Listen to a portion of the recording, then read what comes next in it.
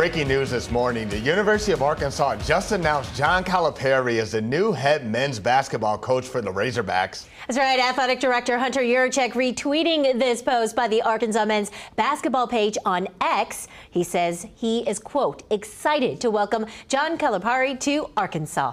According to a press release, Yurachek will introduce the former Kentucky Wildcats coach at a press event tonight at 6 o'clock. Calipari's five-year contract will start at $7 million per season. Incentives could extend the contract through 2031.